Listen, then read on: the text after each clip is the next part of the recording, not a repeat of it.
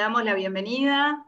Es el anteúltimo encuentro, porque el último encuentro lo hacemos el miércoles que viene. Nos tomamos un ah, descanso. buen día, ¿cómo les va? Hola, Juan Cruz. Juan Cruz es parte también del equipo externo de, de Casipra y nos trae siempre las novedades relacionadas a, normativas bancarias. ¿Vos tenés alguna novedad, Juan Cruz? Eh, no, nada. Demasiado silencio. Igual lo último se prorrogó hasta el 31 de diciembre, con lo cual nos van a dejar brindar, tal vez, en paz. Las expectativas y miedo. Veremos. Bueno, eh, lo que les decía, bueno, que el miércoles que viene es el último encuentro hasta febrero que volvemos a, que volvemos y obviamente lo vamos a anunciar. No sé si vamos a hacer un encuentro semanal o quincenal, dependiendo cómo esté el ASPO o el DISPO o lo que sea, como lo queramos llamar. Eh, así que bueno, Rodrigo, ¿querés decir algo antes de que las presente? presente la temática. Ese, ese, algo es siempre lo mismo, o sea, este, estamos acá eh, en, un nuevo encuentro eh, organizado por la licenciada Laura Patrón. Eh, yo colaboro con la cuestión logística. Este, Casipra, se habrán enterado que es una joven cámara de 107 años, apenitas. en fin, por eso de que certificamos origen a, a las exportaciones argentinas desde 1959 es como que estamos muy targeteados y muy definidos en el, en el comercio exterior, pero somos Cámara de Comercio, Industria y Producción. Y como eh, la certificación de origen nos, definió y nos rumbeó, eh, nuestro eh, Instituto Superior Educativo no, no, no, da cualquier cosa, o sea, tenemos carreras en las que se preparan futuros coleguitas y, lo que el año pasado dimos el llamar, eh, que siempre estuvo en realidad el sector cursos, escuela de negocios, eh, también está definido al, al, comercio exterior y lo que es actualización eh, y estar al día con, con, cursos, algunos oficiales y otros de educación continua, podríamos decir, también están targeteados al, al comercio exterior. Y bueno, eso somos. Este, así que, bienvenido. Bien. Bueno, hoy vamos a hablar sobre marcas y propiedad industrial. La idea es que haya una breve introducción de cada tema, sobre temas de marcas y sobre temas de patentes, y eh, que ustedes aprovechen para hacer todas las preguntas que quieran. Como siempre, micrófono apagado hasta tanto terminen las disertaciones y después las preguntas por el chat, que yo las voy a leer, se las voy a transmitir tanto a Verónica Kapovic y a Paula Galván, que son especialistas justamente en marcas y en propiedad industrial. Así que bienvenidas, muchas gracias por aceptar la invitación así rápidamente y les doy... Gracias por invitarme. No, nada, y le doy ya el paso a Verónica para que comience.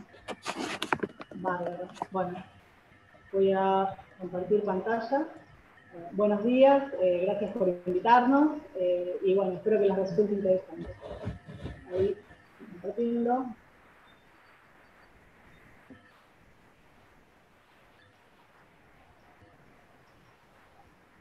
Bueno. Eh, nosotros hoy vamos a hablar de lo que es la propiedad intelectual. la propiedad intelectual protege todo aquello que es la creación del ser humano tiene dos grandes ramas, el derecho de autor y los derechos conexos y eh, la propiedad industrial. En los derechos de autor y derechos conexos, como dice ahí, está relacionado a las expresiones literarias y artísticas. Este, pueden ser eh, obras eh, musicales, obras arquitectónicas, pueden ser software, bueno, eh, y lo que es la propiedad industrial está vinculado a las patentes, modelos, diseños industriales, marcas, secretos industriales y eh, también eh, los dominios de Internet. ¿Qué puede protegerse por derecho de autor? Bueno, es lo que les decía, en términos generales son las obras literarias, artículos periodísticos, programas informáticos, bases de datos, dibujos, cuadros, publicidades, mapas y dibujos técnicos respecto de lo que es la protección, la protección es automática. sea, ¿qué significa que sea automática? Que no necesita de un registro para que alguien se convierta en autor de una obra. Eh, el registro en realidad es necesario para poder ejercer el derecho económico sobre la obra o para preconstituir una prueba eh, de que yo soy el autor de determinada obra. Eh, lo que se dice, por ejemplo, es que cuando alguien escribe un libro o saca una foto o realiza en, la obra de la que se trate, es automáticamente el titular. Y es automáticamente el titular en todo el mundo por el convenio de Berna. Eh, el tema es que cuando debe probar esa titularidad, conviene tener el registro hecho. Este, el registro, bueno, es un depósito y otorga un derecho al autor por un tiempo determinado, o sea, por vida, más 70 años en general, en general, 70 años post-mortem. Los derechos de autor a veces tienen entrecruzamientos con temas marcarios o títulos de obras, por ejemplo. Eh, si hay algún tipo de obra conocida, eh, literaria, que sin autorización de su titular alguien quiera utilizar como marca, va a tener un impedimento, eh, ya que justamente no tiene la autorización del titular. Con respecto a lo que es patente, ¿qué es una patente? Una patente es un me están pidiendo si, si podés subir el volumen de la compu, o porque como que se escucha un poco bajo.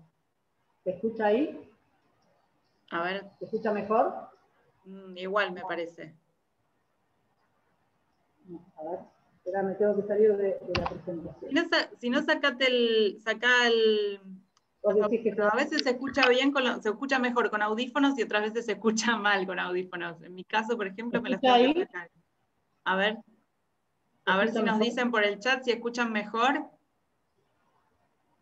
Bueno, a ver, probemos. mejor ahí o no? A ver. No contestan ahora.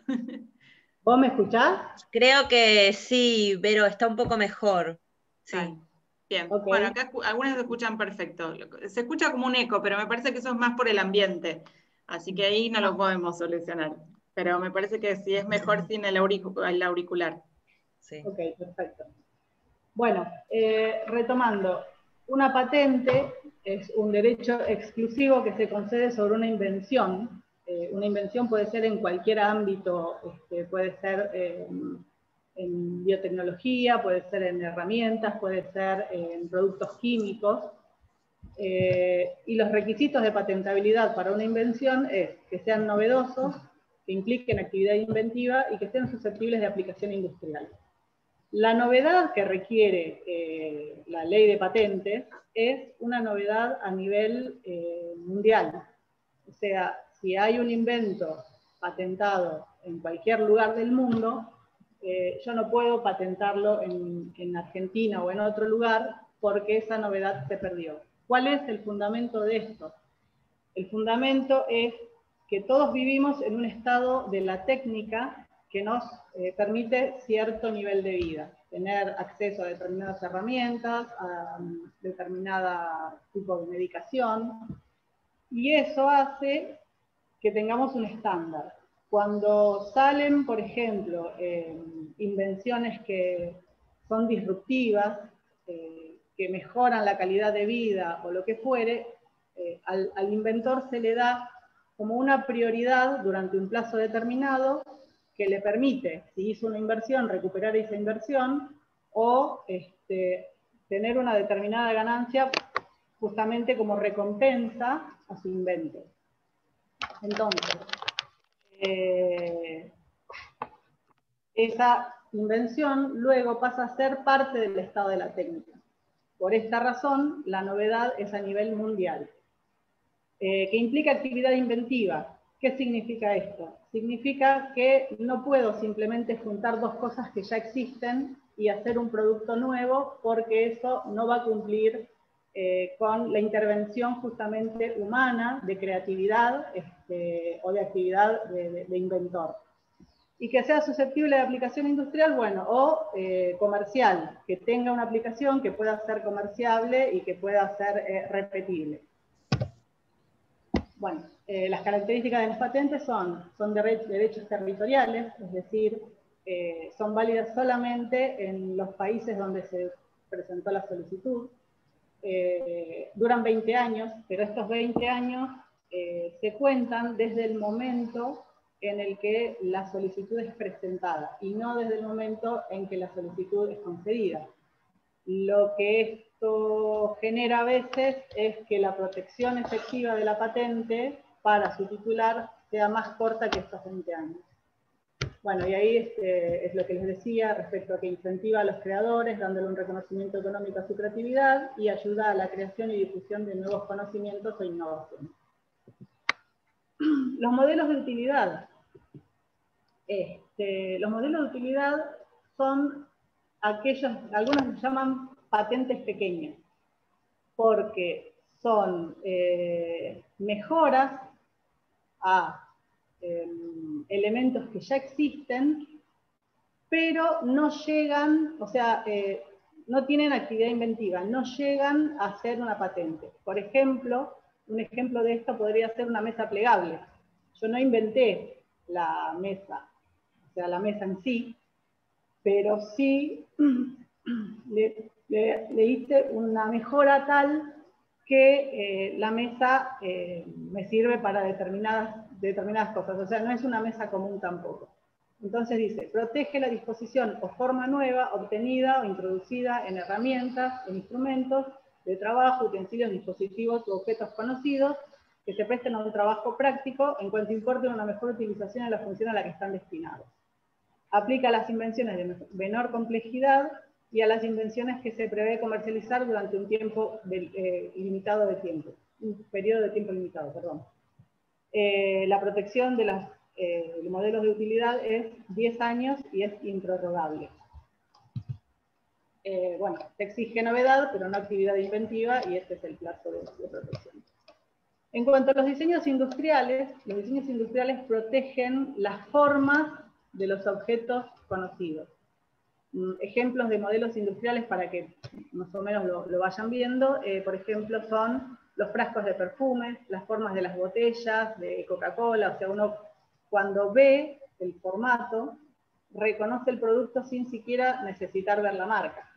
Entonces, eh, un diseño industrial es las formas o el aspecto incorporado o aplicado a un producto industrial que le confieren carácter ornamental. Se puede aplicar a una amplia variedad de productos, envases, contenedores, mobiliarios, eh, joyas, aparatos electrónicos y textiles. Eh, en cuanto a la utilidad que presentan los diseños industriales, eh, hacen que un producto sea más atractivo, llame la atención de los clientes, bueno, el diseño motiva la elección del consumidor, mm. y en general eh, son muy atractivos para, para las pymes cuando tienen desarrollado algo que es muy particular y lo pueden registrar. Por ejemplo, todos deben conocer las Crocs. Las Crocs tiene integrado dentro de su, producción tres activos de propiedad industrial. Uno es una patente debido a que el plástico con el que se hacen las Crocs es este, un plástico especial que al cual no se le generan hongos. Este, por otro lado tiene la marca, que es conocida, Crocs, y por otro lado el diseño tan particular que lo hace reconocible en cualquier lado. O sea, tiene eh, diseño industrial eh, incorporado también en, el zapato. Los secretos industriales. Los secretos industriales también son parte de la propiedad industrial, eh, porque justamente resguardan información confidencial. Por ejemplo, eh, la típica es la fórmula de la Coca-Cola. Este, pero bueno, eh, puede ser también información financiera, eh, fórmulas, recetas, todo aquello que tenga un valor para una industria y que sea comerciable. muchas veces es más fácil recurrir a secretos industriales que hacer una patente, porque una patente en realidad a veces es muy cara de tramitar. El tema es que para resguardar un secreto industrial muchas veces se invierte mucho más dinero y por mucho más tiempo en eh, lo que son medidas de seguridad, porque hay que saber que, por ejemplo, eh, un secreto industrial puede ser resguardado, eh, no sé, con acceso limitado a determinadas personas, hay que invertir en seguridad informática o en seguridad este, de acceso en puertas, o sea, eh, si bien eh, en un principio es más barato, eh, mantener el secreto es mucho más complicado a lo largo del tiempo. Bueno, las características de lo que es un secreto industrial es que es una información valiosa desde el punto de vista comercial, es conocida únicamente por un número limitado de personas, y bueno, y es objeto de medidas razonables para mantenerla en secreto por parte de las personas que legítimamente la controlan, incluido el uso de acuerdos de confidencialidad entre asociados y empleados. ¿Qué tipo de información puede ser protegida? Toda información confidencial que otorga a una empresa una ventaja competitiva que sea desconocida por otros. Información técnica relativa a los métodos de fabricación, los datos de prueba de productos farmacéuticos, diseños y dibujos de programas informáticos, o información comercial tal como los métodos de distribución, lista de proveedores y clientes, estrategias comerciales. Eh, respecto al tema marcas, eh, si bien Paula se va a explayar sobre esto, eh, una marca es un signo distintivo de uso comercial que diferencia productos y servicios de un fabricante o proveedor o prestador de otros productos y o servicios similares. Tiene como funciones principales la distintiva y la de exclusión. Distintiva porque distingue justamente los productos, eh, o sea, cuando uno ve una marca, sabe efectivamente quién es el comerciante que la está poniendo en el mercado, eh, permite a su vez eh, ejercer la exclusión, o sea, si yo soy el titular de esa marca, puedo excluir a terceros para que no la utilicen y no se aprovechen del de, eh, prestigio que esa marca ya adquirió. Tiene funciones secundarias como la garantía de calidad, justamente cuando alguien adquiere eh, un producto, lo hace sabiendo la calidad con la que se va a encontrar. Pero también tiene una faz relativa a lo que es el derecho del consumidor, que si el consumidor adquiere un producto confiando en que va a encontrar determinada calidad y no la, no encuentra, entonces eh, la propia ley lo incluye como eh, digamos, eh, eh, o sea, eh, lo incluye como otorgándole la responsabilidad al productor. Esto se aplica, por ejemplo, cuando alguien comercia con marcas que, es intermediario. O sea, si yo soy revendedor de una determinada marca, ante el consumidor voy a ser responsable, tanto yo como el productor de la marca. Bueno, después eh, tiene función publicitaria y de inversión. Muchas veces las marcas tienen eh, incluso mayor valor que el resto de los activos de, una, empresa. Eh, habrán visto el conflicto que hay ahora con el tema de las marcas de Diego Maradona, que la realidad es que más allá de todos los derechos que pudo haber dejado en el camino él, las marcas son un activo muy importante y bueno, va a ser un tema lindo de, intervenir en, eso. Eh, bueno, ¿cómo se accede a ejercer los derechos sobre la marca? Eh, se tiene que hacer eh, el registro. esto se hace, bueno, ante el INPI y lo que me otorga es el derecho de utilizarla y también de excluir a terceros o oponerme al registro de marcas que son similares a la mía o que pueden prestarse a confusiones. Eh, bueno, el derecho otorga, ya lo dije, propiedad sobre la marca, excluir a terceros, licenciarla, transferirla, autorizar su uso o poner al registro de cualquier otra marca que pueda realizar. Las indicaciones geográficas. Eh, ¿Qué es una indicación geográfica? Es un signo utilizado en productos que tienen un origen geográfico específico y poseen cualidades que se deben a ese origen. Se utiliza eh, generalmente para productos agrícolas, alimentos, vinos, bebidas espirituosas, artesanías y productos industriales.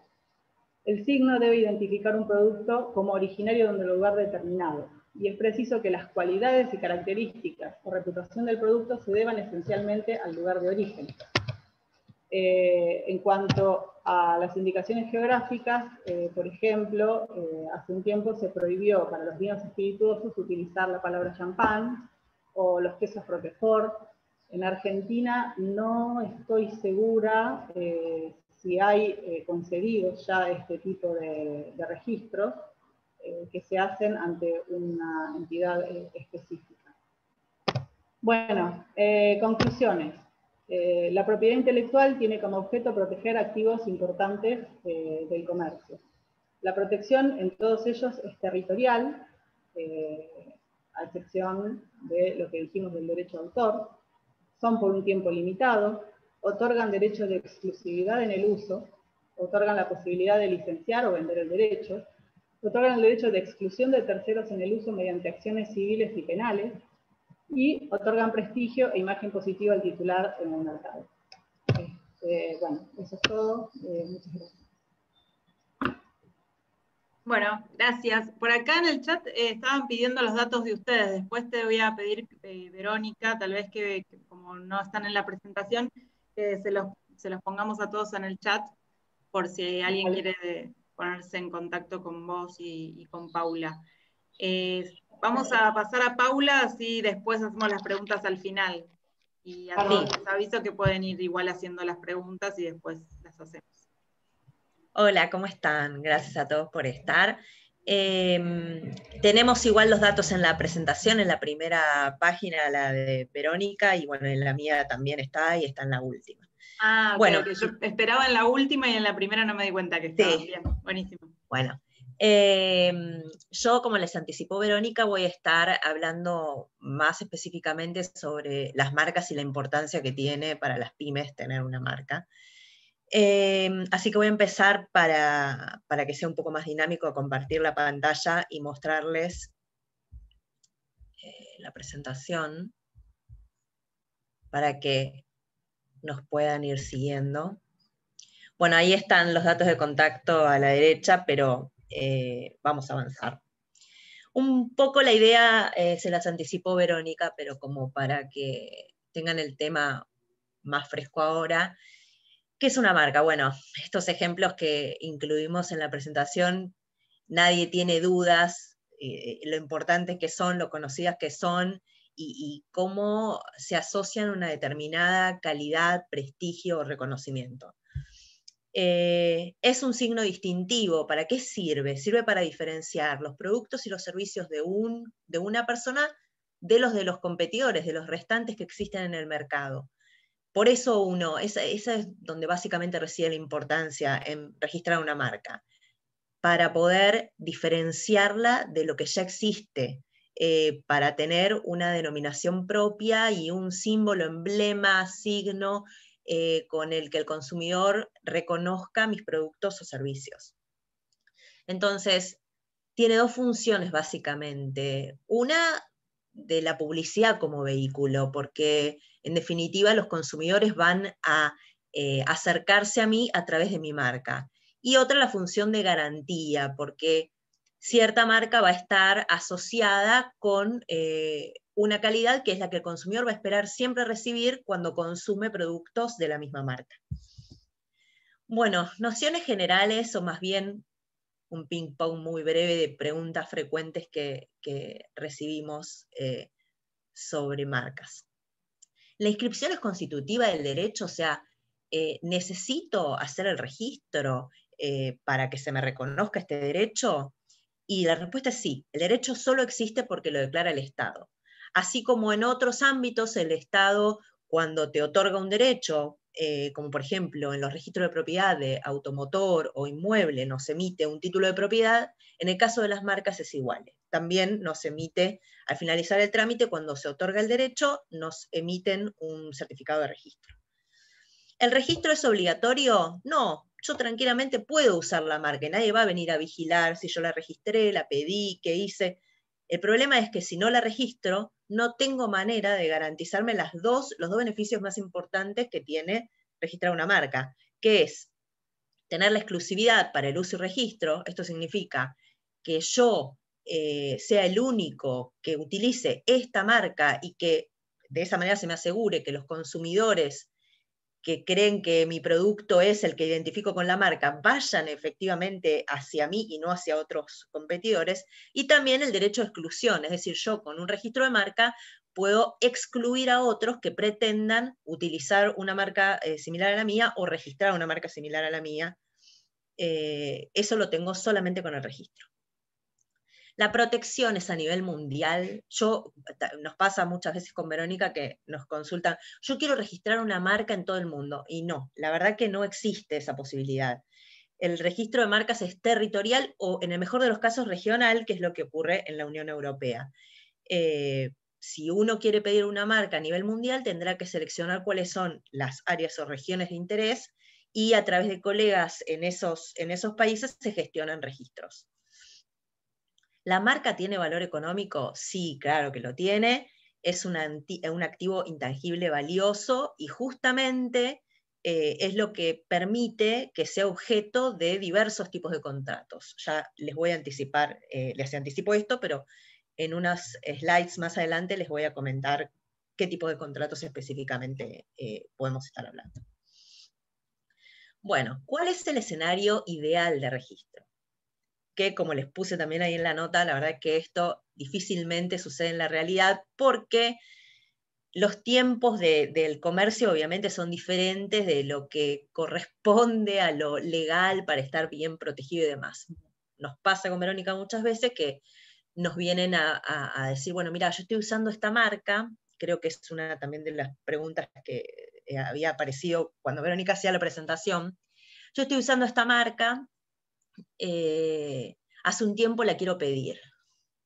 Y bueno, la verdad es que lo ideal hubiera sido que empezáramos al revés. Si yo quiero salir al mercado con esta marca, decime si se puede.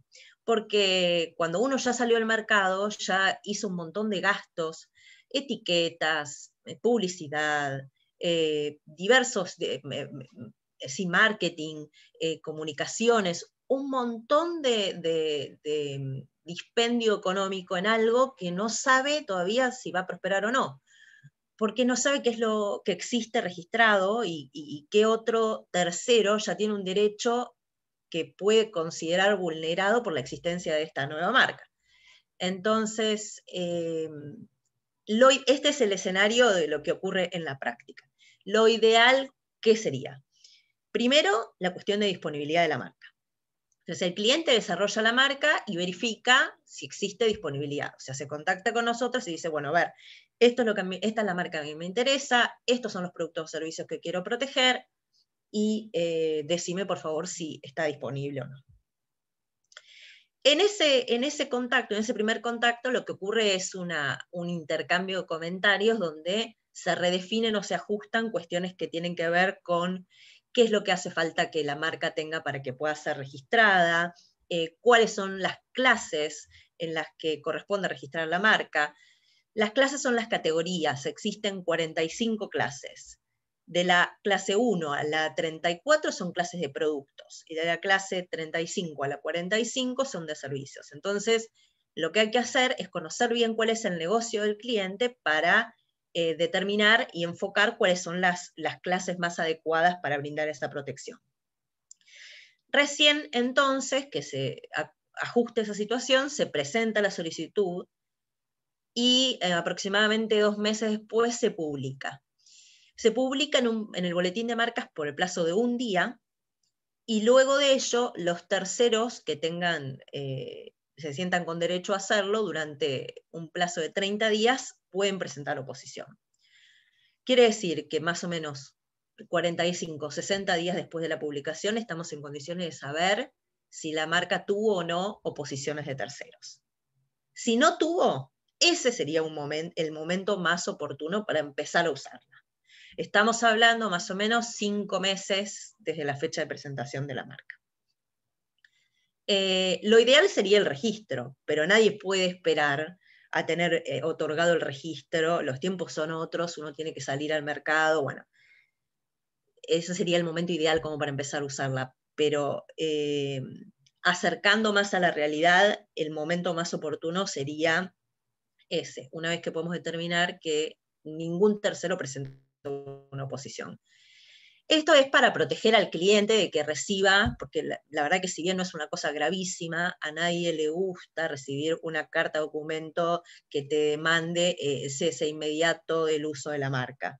Es incómodo, es molesto y es costoso porque es una carta documento que hay que responder y, y demás.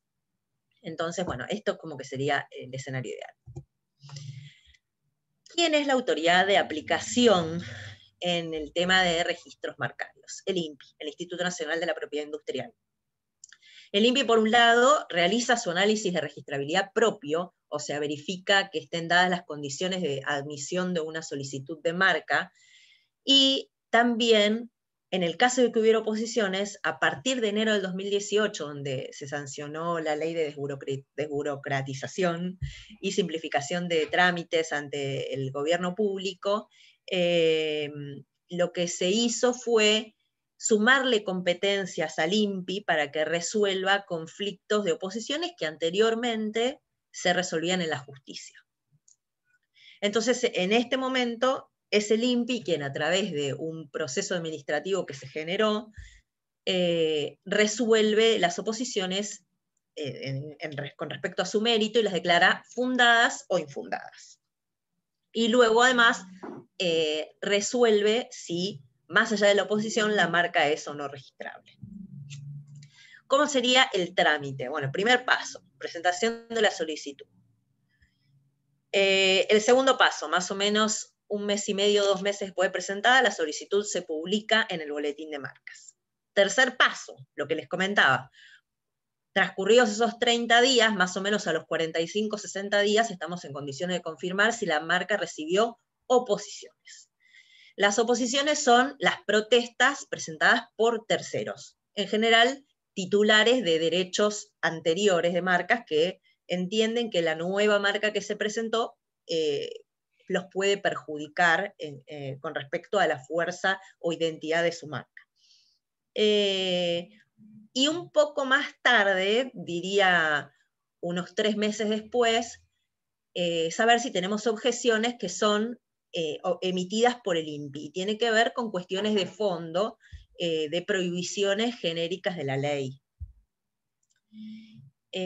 luego, el siguiente paso, suponiendo que eh, se resuelven las oposiciones o objeciones o directamente no se reciben, es la concesión del registro de marca, que en principio tiene una validez por 10 años, pero que eh, es renovable, eh, es prorrogable indefinidamente en tanto en cuanto se presente la solicitud de renovación y se utilice la marca. Bueno, el mejor escenario, que es el que siempre tratamos de lograr, que la marca no reciba oposiciones. Semáforo verde. Entonces, hacemos en esa revisión previa eh, de, la admisibilidad de la solicitud, vemos qué es lo que existe ya registrado y hacemos una recomendación eh, sobre cuál es la mejor alternativa para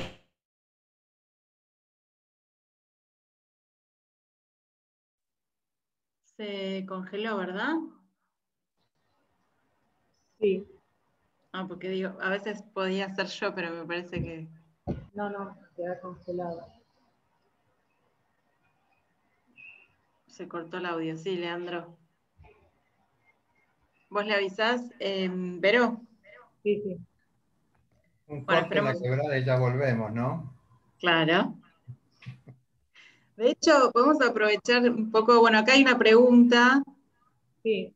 Si, igual vos, si querés, ocupate de ver qué le pasó a Paula y, después vamos a la pregunta. ¿Se, puede, ¿Se puede registrar una marca en el exterior desde Argentina o hay que viajar?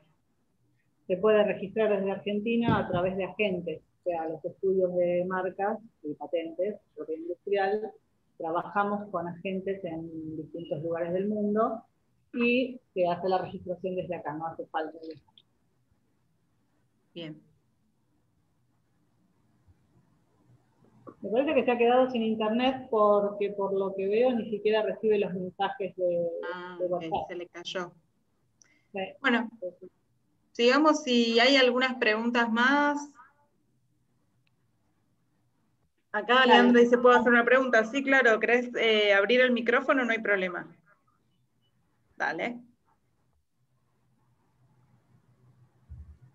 Hola, ¿ahí me escuchan? Te escuchamos perfecto. ¿Qué tal? Buen día, Leandro Brusone les habla de Flexpack Embalajes. Hola. Eh, bien, todo bien. Yo recién hacía una consulta, seguramente después lo voy a escribir, pero por ahí para tener un approach. Eh, nosotros nos dedicamos a la impresión de envases, ¿sí? envases rígidos, latas, botellas y demás.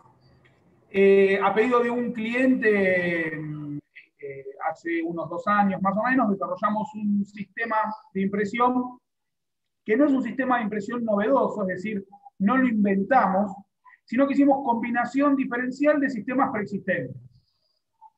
Donde hasta donde nosotros sabemos, eh, en Argentina no se hace, o sea, no, no se imprimen latas con este sistema. Perdón, en Argentina con seguridad sabemos que no se hace, entendemos en el mundo tampoco, no lo sabemos. Y lo novedoso y lo que nos permitió comercializarlo con bastante rapidez, más de la que esperábamos, es que nos permite hacer en un mercado que por lo general es de gran escala, eh, nos permite imprimir en escalas medias y bajas. Por ende, resolvemos una necesidad concreta hoy de mercado que se estaba buscando hacía muchos años, pero bueno, las empresas que existen, que imprimen con otros sistemas de impresión, imprimen en escalas muy grandes. Nosotros, por una decisión eh, nuestra, no, no queremos llegar a las escalas grandes, y bueno, nosotros hoy resolvimos esa, esa necesidad de escala baja y, media.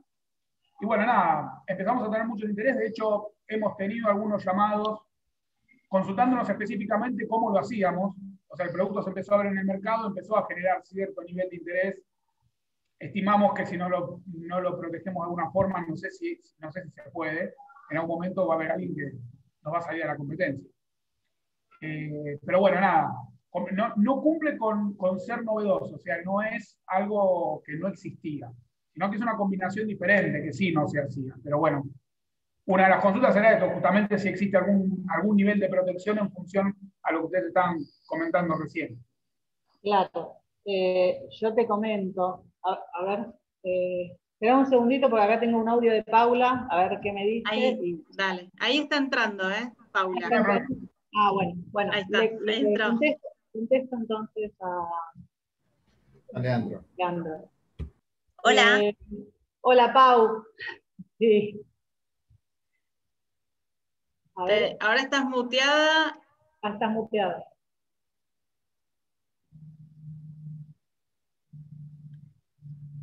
Le contesto.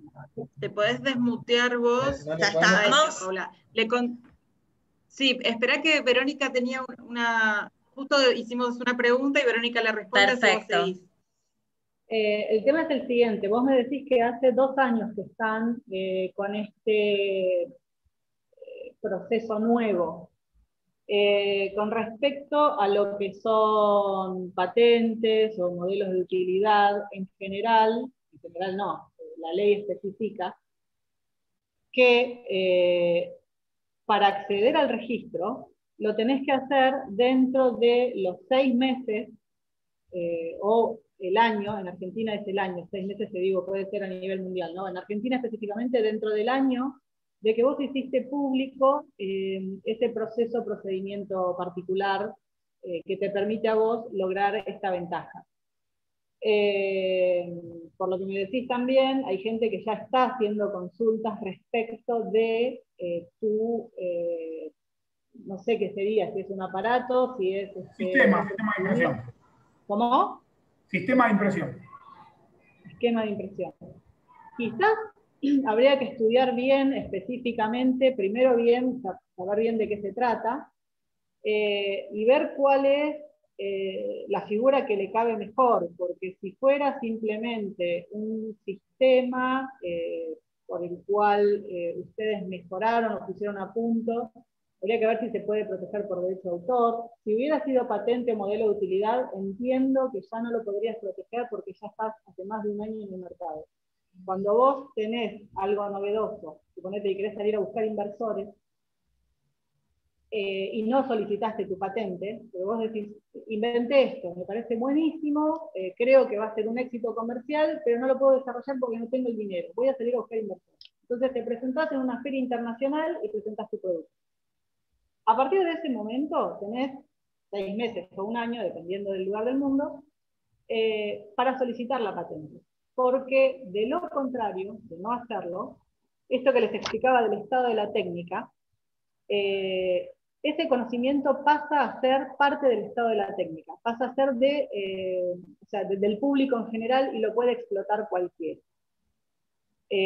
¿Por qué? Porque se supone que todos queremos siempre estar un poco mejor, estar un poco más cómodos. Entonces, sobre esa base va a venir alguien que va a tomar ese conocimiento y va a hacer algo mejor, en teoría. Entonces, si lo tuyo fuera algo que eh, podía ser em, protegido por patente o modelo de utilidad, te diría que el plazo ya se venció porque, bueno, no se hizo el registro en su momento. Ahora, si es un sistema, si es algo que se pueda llegar a proteger por derechos de autor de alguna forma, eh, quizás ahí sí tendrías forma, de, obviamente que tenés forma precisamente, porque yo decía al principio, los derechos de autor son de su autor desde el momento de la creación y el registro es un mero trámite. no es que te otorga el derecho, sino que te lo reconoce. Eh, por eso habría que ver bien de qué se trata tu, sistema de impresión, o sea, si es eh, mecánico o si es simplemente de procedimiento, o ver la forma, porque quizás ese sistema que vos desarrollaste pueda ir por secreto industrial. Eh, y de, en este caso tendrías que tener un buen, eh, ¿cómo se dice esto? Eh, un buen sistema de, primero, de conservar esta información de forma secreta y por otro lado, de poder licenciarlo a través de documentos que te garanticen a vos eh, el cobro de las regalías que correspondan y que esa persona no se lo va a, divulgar a terceros. Habría que ver exactamente bien de qué se trata y ver eh, cuál es el vestido que mejor le queda. Eh, pero ya te digo que si fueran patentes o modelos de utilidad, creería que ya estamos fuera de la protección por el tema del plazo este del año. Bueno, buenísimo, Verónica, muchas gracias. Igual yo después les voy a escribir, así lo vemos con detalle y vemos costos y demás. Muchas gracias. ¿eh? Bárbaro, gracias. Bueno, sigo entonces, vuelvo a compartir la pantalla. A ver eh, en cuál estábamos en esta.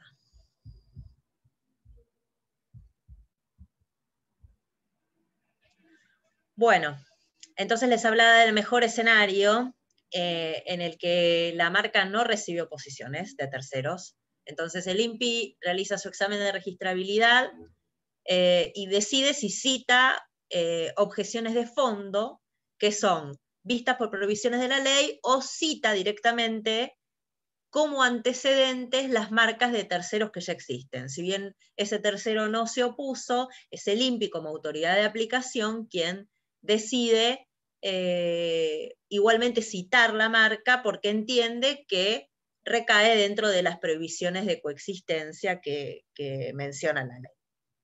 Ahora, si no hay objeciones, se concede el registro marcario y se emite el título digital, que es en el formato del, del archivo que está ahí insertado. Bueno, ¿qué pasa si recibe oposiciones de terceros? Acá entra en funcionamiento este sistema para la resolución de oposiciones que les anticipaba antes. Lo primero que hay, se notifica al, titular de la marca que recibió una oposición y se abre un plazo de negociación voluntaria donde las partes tienen 90 días corridos, este DC días corridos, para eh, ver si llegan a un acuerdo entre ellos. Si llegan a un acuerdo, se presenta el retiro de la oposición ante el INPI y el trámite sigue su curso. El INPI verá, si cita o no objeciones de fondo. Si no la cita, lo más probable es que la marca se conceda. Ahora, si no hay un acuerdo en, dentro de este proceso nuevo, y esto es una novedad en el sistema, porque antes, si no había acuerdo, era el solicitante quien tenía que llevar a la justicia al oponente para lograr el retiro de la oposición.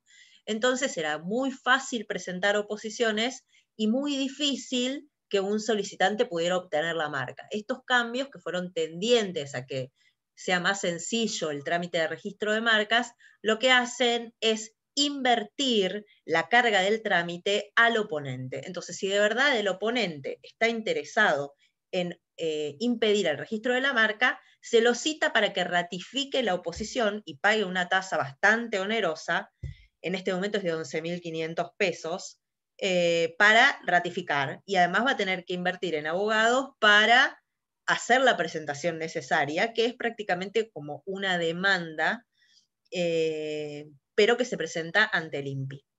Y para eso tiene un plazo de 15 días hábiles. Entonces, si la oposición no se ratifica, de alguna manera cae la protesta y el INPI la considera como un mero llamado de atención y tendrá que resolver teniendo en cuenta esa protesta o no, según estime, el, según sea el criterio del examinador a cargo de la solicitud.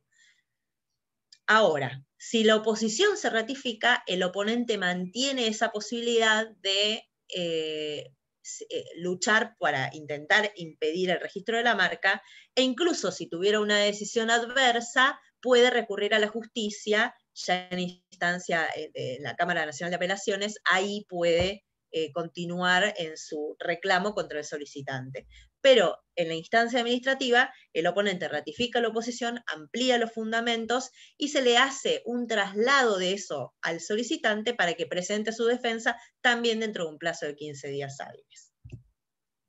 Como les decía, la autoridad de aplicación es el INPI. Entonces, ante una oposición, lo que el INPI va a hacer eh, es una resolución en doble instancia. La primera va a ser respecto del mérito de la oposición y va a decidir si la oposición es fundada o infundada. Eh, y luego va a resolver si concede o no concede la marca. Si declara la oposición fundada, seguramente no va a conceder la marca. Ahora, si declara la oposición infundada, puede ocurrir que conceda la marca o que no la conceda. ¿De qué depende? Que la conceda, si la concede, va a ser porque obtuvo, eh, o sea, se desestimó la oposición, entonces no hay otros obstáculos, y si no existen otros, eh, otros impedimentos de fondo mediante objeciones del INPI, lo lógico es que la conceda.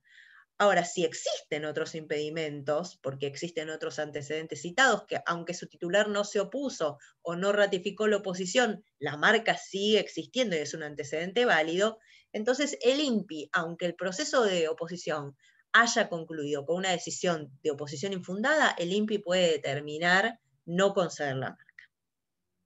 Bueno, si se otorga el registro de la marca, y ahí tenemos el trofeo, eh, tenemos un registro válido por 10 años con la posibilidad de renovarlo indefinidamente por el mismo periodo mientras que la marca se utilice, que es el requisito que pide la ley de marcas. Esta, esta, renovación se hace cada 10 años. Y con esta nueva ley que les comentaba eh, de enero del 2018 de desburocratización, lo que ocurrió también fue que se introdujo la necesidad de presentar una declaración jurada de uso de medio término a los cinco años del registro de la marca eh, para que el titular declare que la está utilizando. Y en qué. Entonces, en una marca normal, a partir del registro, cada cinco años, siempre que su titular decida mantenerla, vamos a necesitar presentar una declaración de uso. Una para la declaración de medio término y otra para la renovación, donde también se requiere informar que la marca se está utilizando. Bueno, un dato de color y estadístico, ¿no? Eh, en este año, con la pandemia, desde enero a noviembre de 2020 en Argentina se presentaron 88.566 solicitudes de marcas. Este número es un número bastante parecido a la estadística del 2019, con lo cual la cuestión del COVID no tuvo impacto alguno eh, y, más bien por el contrario, eh, incluso ha generado oportunidades para particulares y pymes para aprovechar para desarrollar nuevos emprendimientos. Bueno, ¿qué ocurre cuando una marca se hace conocida, se posiciona y, su titular tiene necesidades de expansión? ¿Es necesario que el titular afronte todos esos costos de expansión. No, puede hacerlo a través de terceros. Y acá es donde la marca registrada cobra más importancia, porque con una marca registrada es mucho más viable realizar contratos, que sería la solución para estas necesidades de expansión. El primer contrato, el clásico, que no lo indico acá porque en realidad eh, implica perder la titularidad de la marca, es un contrato de transferencia o cesión de marca, donde el titular puede decidir vender su negocio y bueno, de esa manera queda ajeno a, lo que es su marca. Pero manteniendo la titularidad de la marca, existen estos contratos, el de franquicia, el de licencia de uso, el de agencia, concesión y distribución. No los voy a aburrir con las características particulares de este tipo de contratos, lo dejo acá, si después eh, lo podemos pasar, lo comparten, no hay ningún problema. Em, pero en definitiva, son dos contratos donde, como les decía, el titular mantiene sus derechos sobre la marca y se beneficia a través de un tercero. Es el titular el que tiene la marca, el que la usa, el que tiene el know-how, el que conoce el negocio, el que conoce a sus consumidores y estos diversos tipos de contrato eh, ajustados a las necesidades de cada negocio o empresa son los que le, eh, le van a funcionar como vehículo para poder ampliar su negocio y llegar a, más, eh, a un público más amplio, sea dentro del mismo país o en el exterior. Ocurre mucho el tema de franquicia, licencia de uso, por ejemplo, en todo lo que, lo que es tecnología. Eh, por ejemplo, sistemas, juegos de escape y demás, eso, eso se utiliza mucho, que eh, se desarrolla en Argentina y se vende al exterior, en general en México también. Bueno, eh, acá hay una cuestión muy importante para tener en cuenta, y ahí les puse la anotación de atención cotitularidad. ¿Qué significa esto? es muy importante definir quién va a ser el titular de la marca desde el, inicio del trámite. Si es la empresa, bueno, es una empresa que está una como inscripta regularmente como una sociedad, no va a haber mucho inconveniente dentro del estatuto, va a quedar eh, determinado obligaciones y derechos. Pero ¿qué pasa cuando son dos socios, tres, cuatro, que eh, son los cotitulares de las marcas? en la teoría es hermoso. Compartimos, todos nos llevamos súper bien, vamos todos para adelante con la marca, pero esto es lamentablemente como un matrimonio. Uno arranca la sociedad pensando que va a ser para toda la vida el negocio y después la vida nos sorprende y no es para toda la vida. Y ahí es donde suceden los problemas cuando, cuando existe cotitularidad, porque la ley requiere que para determinados actos, por ejemplo la licencia, por ejemplo, la renovación del derecho, concurran todos los cotitulares.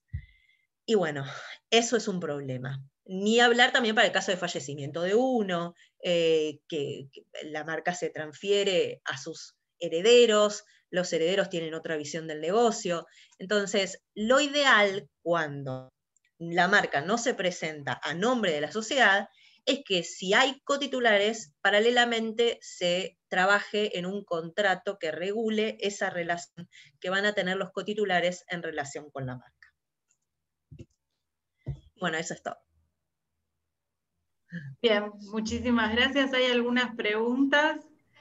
Eh, acá Natalia, igual le voy a pedir a Natalia que me aclare alguna cosa, así que estate, estate atenta. Dice, cuando registré mi marca necesitaba tener un domicilio en Buenos Aires, por lo que tuve que contratar un estudio jurídico. ¿Puedo pasar, puedo ahora desvincular a esas personas y que quede registro de mis domicilios tanto legal como real como titular de la marca?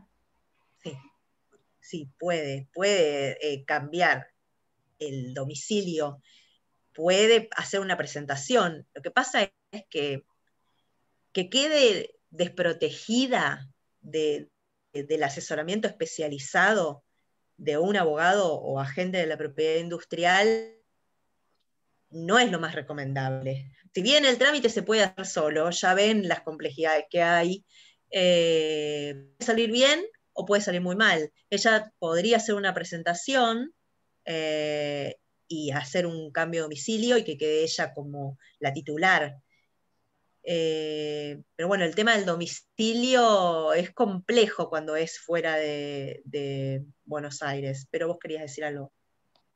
No, no, que en realidad lo del domicilio por ley tiene que estar en, capital. Todavía eso no, fue modificado, con lo cual si ella desvincula a los agentes anteriores, de todas formas tiene que mantener un domicilio en capital federal. Ok.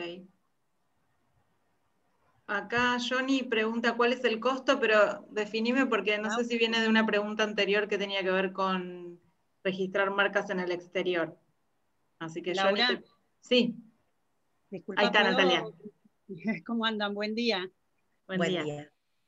Sí, eh, mira, lo que me ocurrió, la marca yo la tengo registrada ya hace más de cinco años.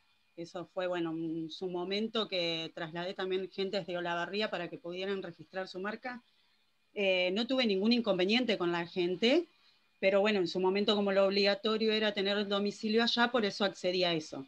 Ahora me llegó una información de que tenía que presentar una declaración jurada eh, para marcas de, mm, de, uso de mayor de cinco años con, un uso de mayor de cinco años. Es esta declaración jurada de uso de medio término que les comentaba, cada cinco años eh, la novedad. Sí, lo pude hacer perfectamente directamente con INPI y pude modificar porque me dejaba en una parte. Eh, la gente de INPI me respondió enseguida, lo hice directamente yo desde la página.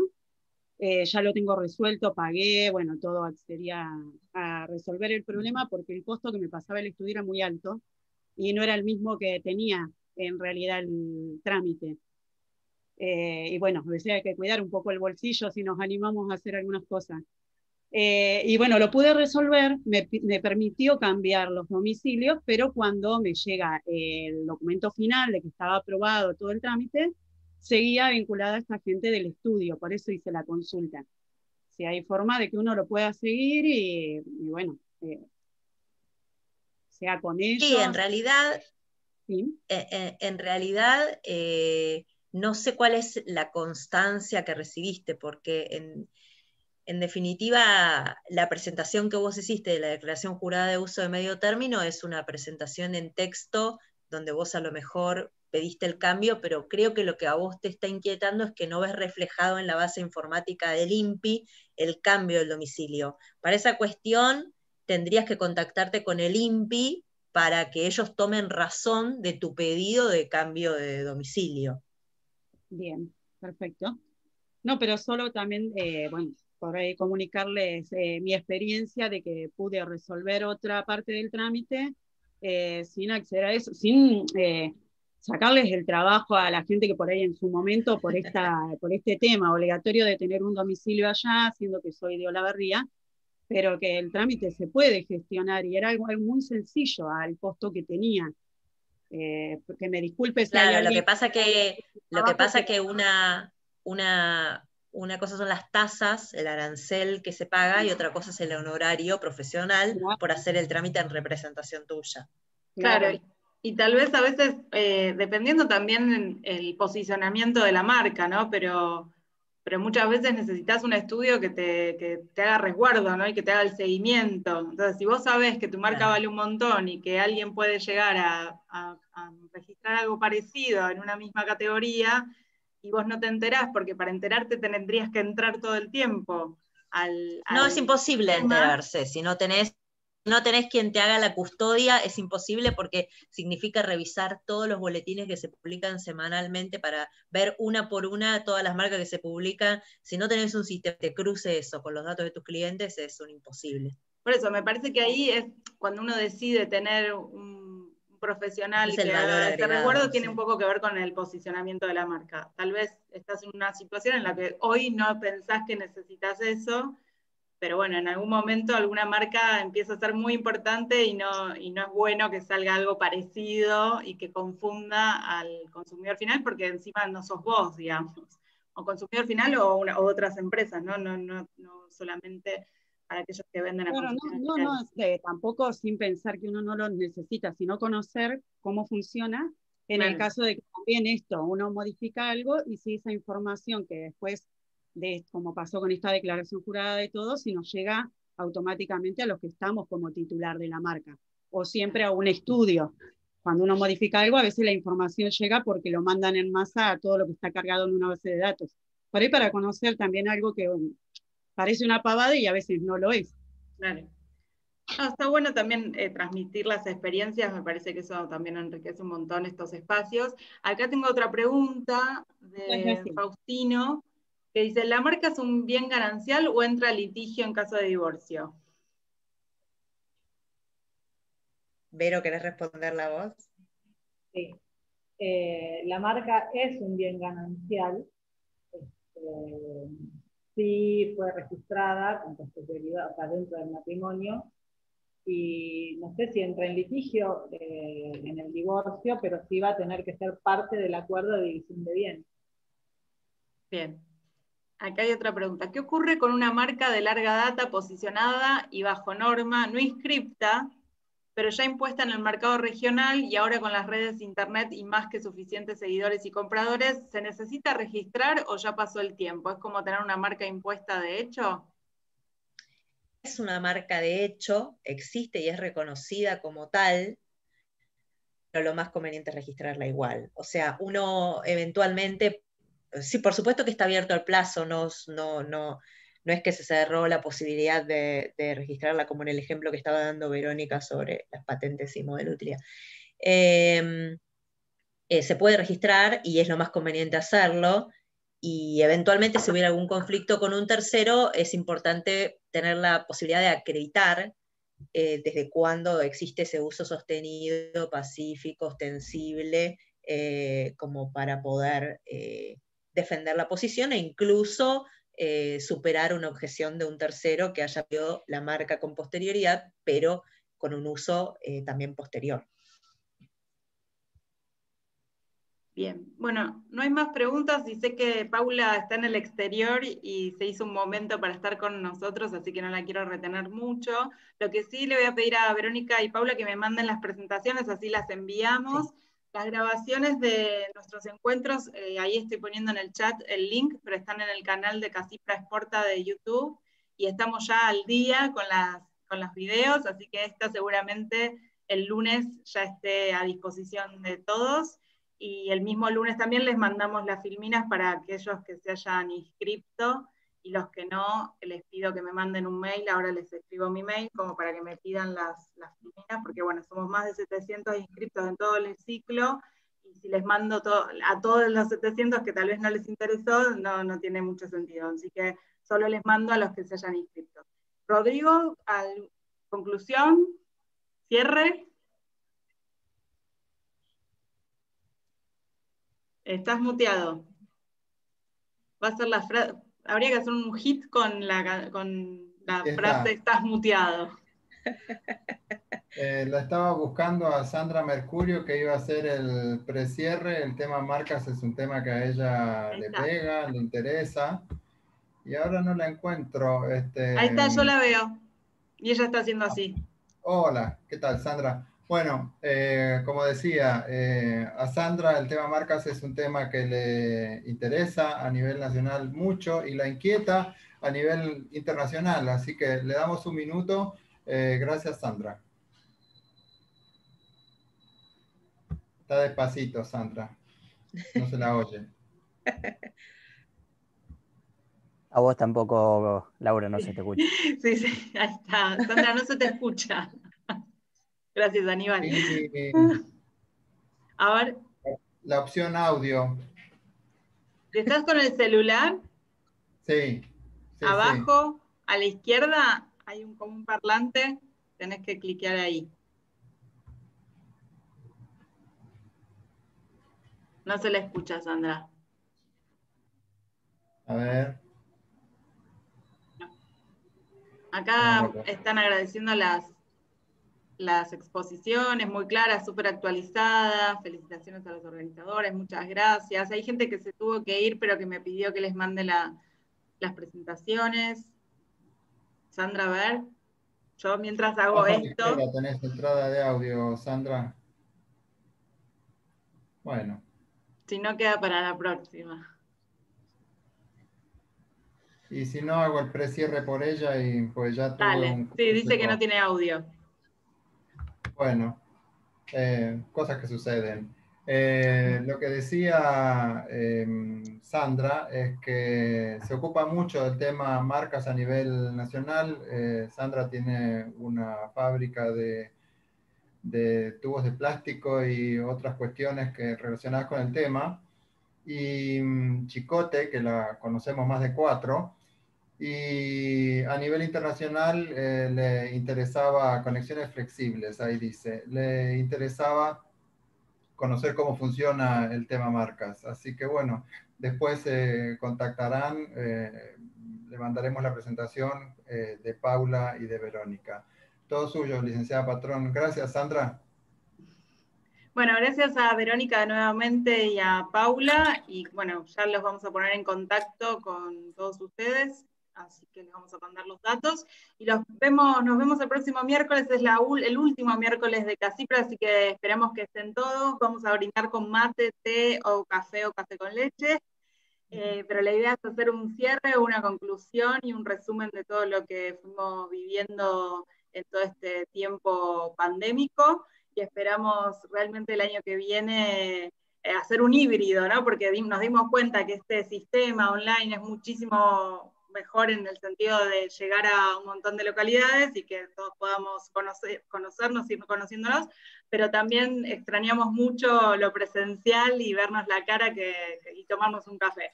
Así que nos vemos en el próximo miércoles para ya despedir el año. Muchas gracias.